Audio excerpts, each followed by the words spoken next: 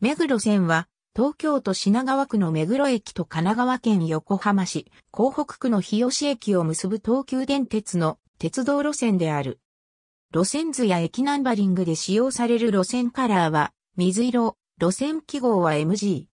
目黒駅から武蔵小山駅、大岡山駅、田園調布駅を経て、日吉駅へ向かう路線である。なお、国土交通省鉄道局監修の鉄道要覧では、田園調布駅日吉駅間は、東横線の複々線に含まれるため同区間は、東横線に属し、正式な目黒線の区間は、目黒駅田園調布駅間となっている。本路線のほとんどは、道路との立体交差化が行われており、踏切がある区間は大岡山奥沢間の4カ所、奥沢田園調布間の2カ所、武蔵小杉本、住吉間の1カ所の合計7カ所のみとなっている。田園調布駅からは、東横線の複々線内側2線を通り、同線と並走して、日吉駅に至る。営業運転される列車は、全列車20メートル車両6両編成である。全駅にホームドアが設置されており、運転士が列車の運転と列車のドアとホームドアの開閉を行うワンマン運転が行われている。車両側には定位置停止装置が搭載されており、駅構内とその手前にはタスックの一補正用と定位置停止用の地上紙が設置されており、駅での停車時にはタスックによるブレーキが列車にかかるようになっている。その他にも車両側にはホームに設置された監視カメラの映像をホームの先端側に設置された送信機からミリ波帯の電波で送信して、それを先頭車に搭載された受信機で受信した後、車両側に設置されたモニター画面でそれを見ることができる車上 ITV を運転台上部に装備しており、ドアの開閉時の際の監視に使用される。目黒線を名乗っているが、目黒区を走行する区間は短く、同区に所在する駅は、専属駅のみ。目黒駅は、品川区にある。目黒駅から地下鉄線への相互直通運転を実施しており、東京メトロ南北線、埼玉高速鉄道線に乗り入れる系統と、都営地下鉄三田線に乗り入れる系統の2種類がある。なお、両系統とも地下鉄線内白金台駅、白金高輪駅までは同一の経路を走行する。目黒線の目黒駅から玉川駅の間は、かつては目釜線の一部であったが、東横線のバイパス路線として整備して、同線の混雑を緩和するため、目釜線を目黒駅玉川園駅間と玉川園駅、蒲田駅間に分割し、全車を大規模に改良し、さらに東横線の玉川日吉を複々線化して全車と接続する工事が行われることになった。並走する目黒線車両と東横線車両。田園調布駅日吉駅では目黒線は内側2線を使用し、東横線と並走する。東横線複々線化事業に伴い、2000年8月6日に、目釜線を玉川駅を境に分割した上で、目黒側の列車が東横線の複々線部分を武蔵小杉駅まで走る目黒線が誕生した。一方、玉川駅蒲田駅間は区間運転化され、東急玉川線となった。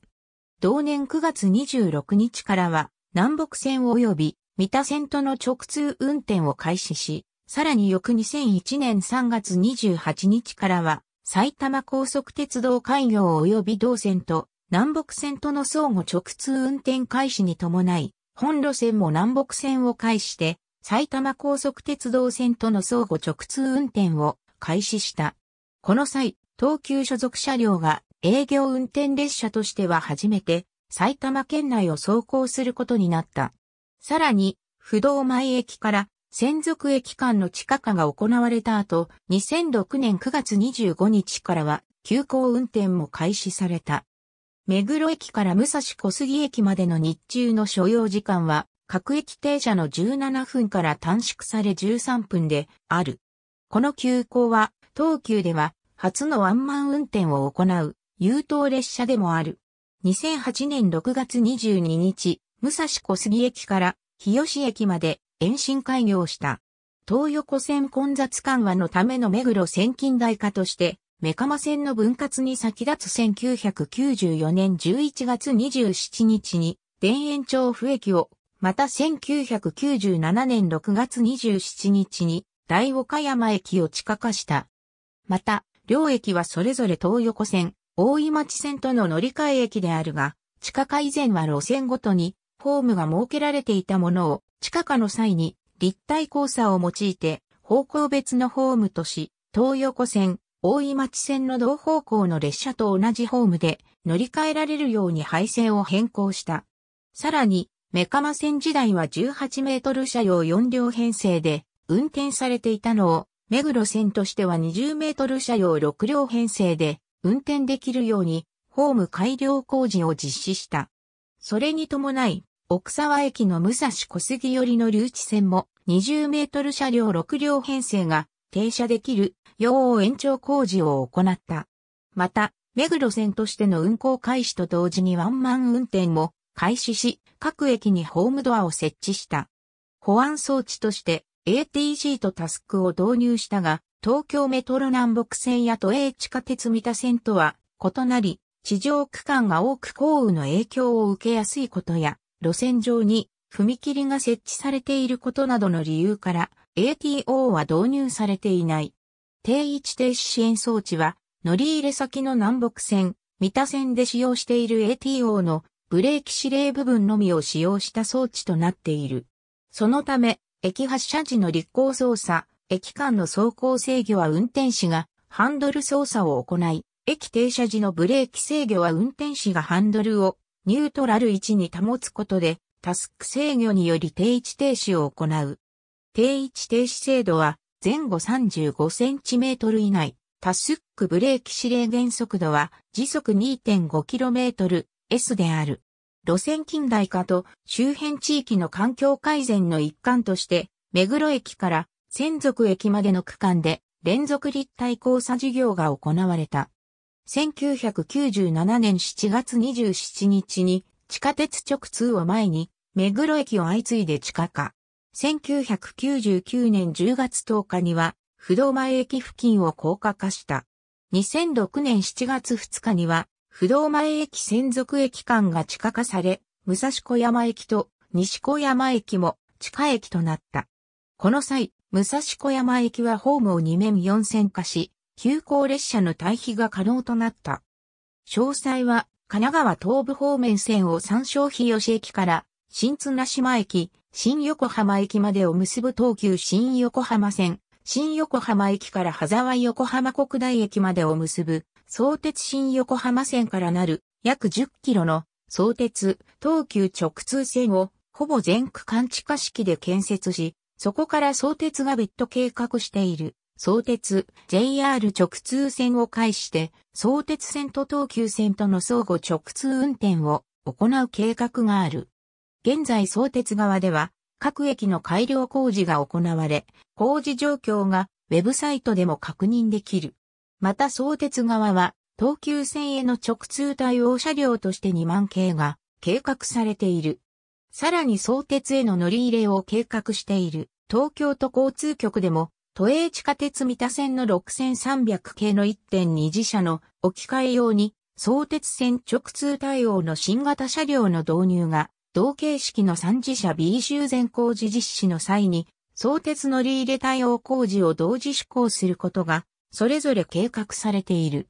一方で東急側の相鉄への直通車両は、新型の3020系を製造して、相鉄東急都営地下鉄3社直通運転に対応させる。東急目黒線所属の既存車両を相鉄直通対応を実施するかどうかについては未定である。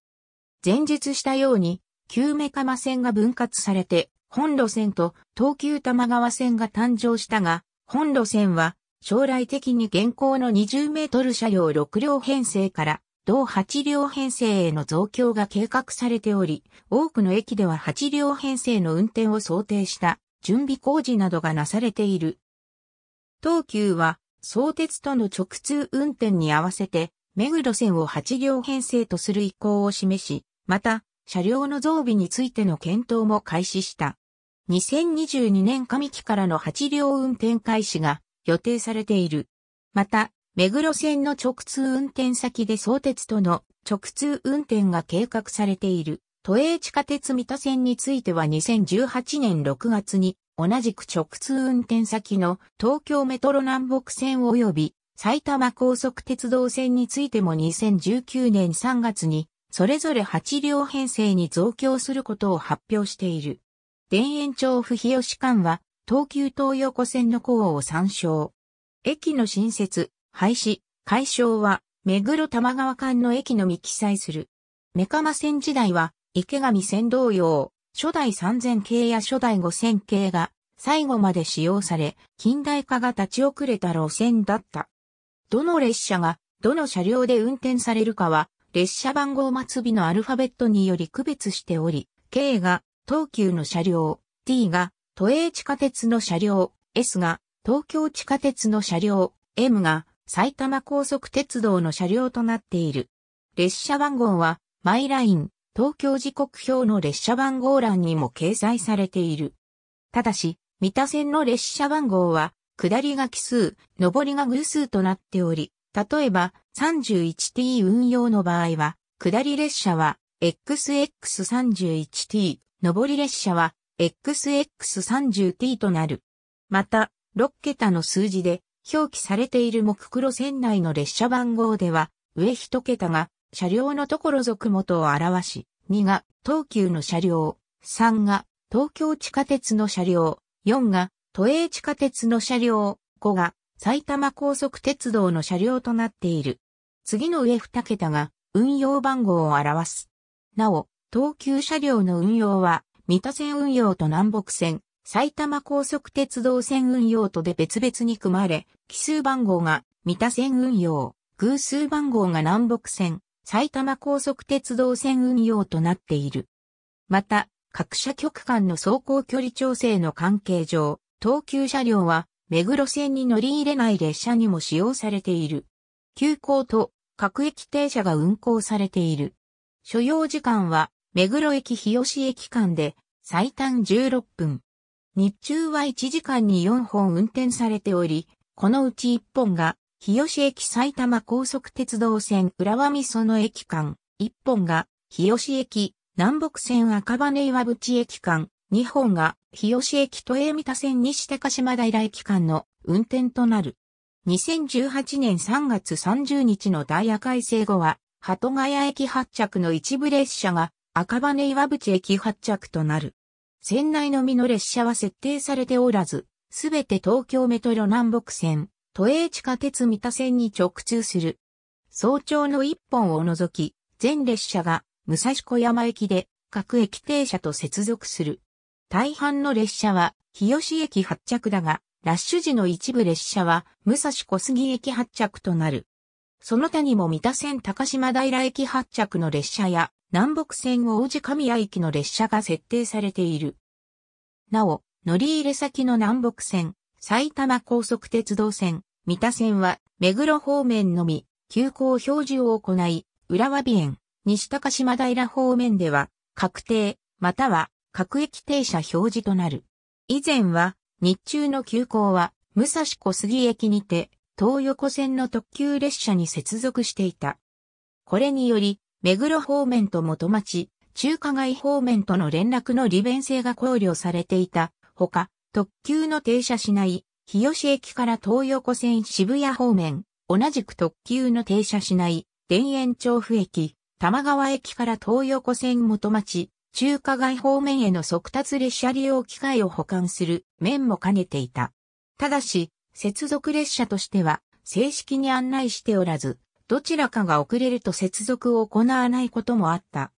その後、2013年3月16日ダイヤ改正より、東横線と目黒線の並走区間において、到着時刻を意図的にずらすこととなったため、現在は東横特急と目黒線急行の接続はしなくなっている。基本的に赤色で表記される。港未来号2004年より特定日に、埼玉高速鉄道線浦和美園駅と三田線、高島平駅より、横浜高速鉄道港未来線元町、中華街駅までの臨時列車、港未来号が運行されていた。2006年8月運転分までは、東横線と港未来線内のみが急行運転だったが、同年12月運転分から目黒線内も急行運転に変更された。2012年以降は運行のない状態が続いている。2006年8月運転分までは終点の武蔵小杉駅で東横線への転線を行っていたが、同年12月運転分からは武蔵小杉駅日吉駅間の複々線化工事の影響で、武蔵小杉駅からの転線ができなくなったため、田園調布駅での転線となった。その後目黒線が日吉駅に延長した2008年7月運転分より日吉駅での転線に変更となったものの、2011年の運転では再び田園調布駅での転線に変更した。乗り入れ先の東京メトロ南北線、埼玉高速鉄道線、三田線内を含め高久駅に停車する。一部列車は武蔵小山駅で急行と接続する。終日において南北線、三田線に直通するが、早朝と夜間を中心に奥沢駅、武蔵小杉駅発着区間列車が数本設定されており、一部列車は目黒駅日吉駅間のみ、運転の線内折り返しとなる。また、乗り入れ列車において、日吉駅浦和美園駅、または西高島平駅の設定が多数だが、武蔵小杉駅、奥沢駅発着で、駒込駅、王子神谷駅、赤羽岩淵駅、鳩ヶ谷駅、高島平駅発着の列車が設定されている。なお、乗り入れ先の南北線、三田線、埼玉高速鉄道線では、確定表示を行わなかった。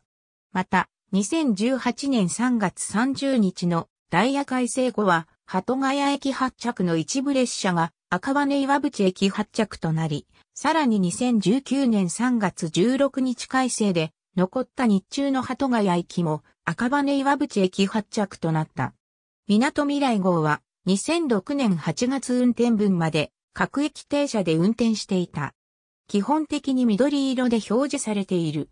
2018年度の朝ラッシュ時の最混雑区間は、不動前駅目黒駅間で、ピーク時の混雑率は174%である。南北線や埼玉高速鉄道とともに通常、車体でありながら1両あたり幅広車体基準の148名で統計を出しているため、6両編成での平均標準定員138名を用いた場合、混雑率は8から9%上がる。なお、三田線は標準定員の140名で統計を出している1989年度に4両編成となってから混雑率は150%を下回り、1999年度まで輸送量は減少傾向が続いた。2000年度にメカマ線から目黒線へ分離し、南北線、三田線との直通運転を開始してから輸送人員が増加した。全列車が6両編成での運行で、混雑率は東路線がバイパスとなっている、東横線より高く、東急全線の中でも、田園都市線に次ぐ。近年の輸送実績を下表に記す。表中、最高値を赤色で、最高値を記録した年度以降の最低値を青色で、最高値を記録した年度以前の最低値を緑色で表記している。ありがとうございます。